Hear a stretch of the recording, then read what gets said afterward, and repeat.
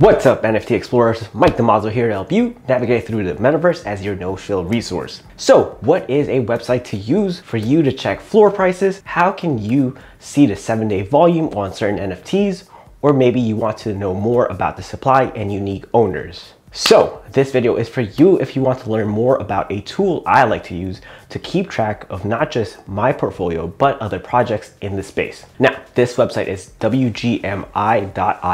As a disclosure, I paid for the premium website back in August and get no financial gain with you checking it out or even signing up for that premium. It's a tool that's helpful for me and it's one that I hope you find some value in. So let's go over it, wgmi.io to start with, how to use it, what the premium offers, and my deep brief for explorers.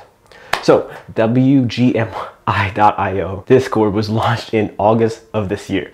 NFT Tomo is doing the building solo while working a full-time job, spending time with his wife and kids. NFT Tomo is a fellow ape and a CryptoPunk holder. By the way, all these builders in this space is just amazing and I just want to recognize them for laying out the groundwork for Web3. Back to the website. Let's talk about how to use it. It is a MetaMask wallet integration.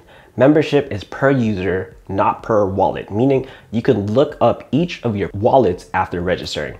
To access the premium site, you have to be connected to your Ethereum mainnet with the account you registered with.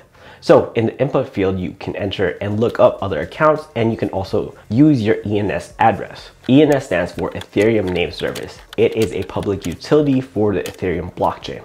It's so that you don't have to use OX, whatever numbers as your address. It could be like AO.ETH as your address. So for projects, it pulls in all your ERC 721 and ERC 1155 asset projects.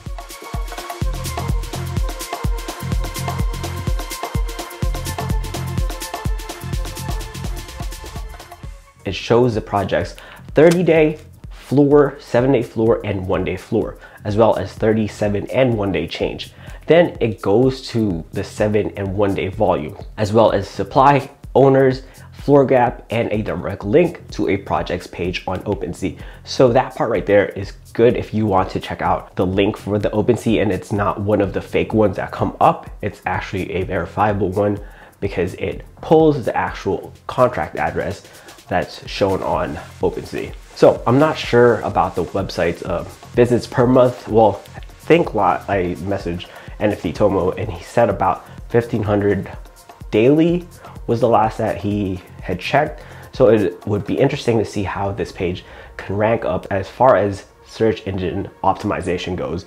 And there is definitely some ad space to feature your project for those people that's interested and want some space, even if I'm sure it's just NFT projects. I might even ask them if I could like, hey, can I put on my website? Like, what's the cost? Just now that I thought about it while I'm making this video. Anyways, most transactions with NFTs or DeFi, decentralized finance, I like to use my computer because I like being able to see everything as opposed to like, say I use it on my iPhone and I'm very limited on my screen space and there's definitely some things that I can miss. So for you that's transacting like high volumes or of very speculative assets, so you want to take the extra step and extra time to use a computer when looking at your JPEG portfolio. Also, as a reminder, none of this is financial advice. NFTs and DeFi are risky, only put in money you are willing to risk. Now, for the premium access, it costs 0.1 ETH or about $380 at this time. Is it needed for this website to use it? No, it definitely isn't. That is one of the reasons I like being able to use it and recommend it for new explorers as it provides a set of data for you if you want to jump into an NFT or just want to look at the numbers. As I've said, I like NFT Tomo's work and as someone that does videos watches the NFT space and gets into DeFi, I know how hard it is to find that balance.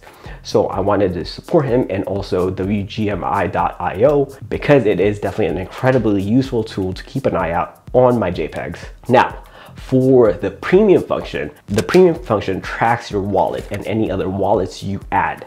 It has the same option as the basic site with project names. It does show the quantity of NFTs you have for that project as well as the trait floor when it comes to your specific NFT, as well as added actions with viewing the floor activity, direct link to your collection. On top of that, it also shows your current ETH price, total assets, total value, total cost, and total net. So it's a way to gauge your NFT net worth. So how I like to use it is checking the portfolio based on the floor prices in case I want to liquidate. I'm both an active collector and trader in this space.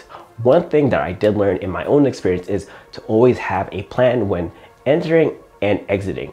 For the most part, I'm a collector and look for collections where I've done my research and have a sense of what a project can deliver in two to five years time.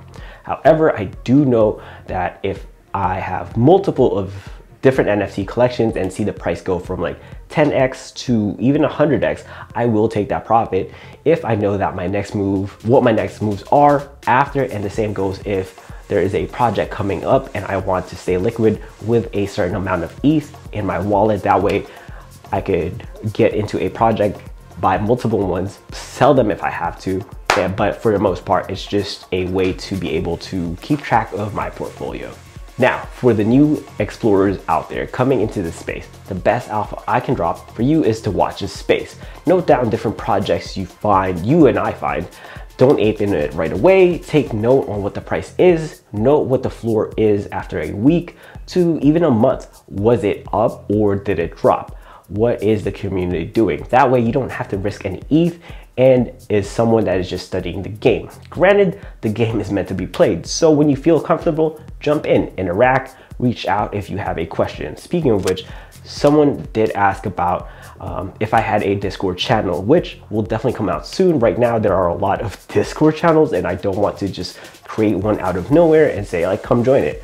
So for now, the mailing list is the best place to sign up for Alpha. And if you want to help out with the Discord channel, reach out. Let's make it better together because we all can make it. My review for WGMI.io is it is a 5 out of 5 fire emojis.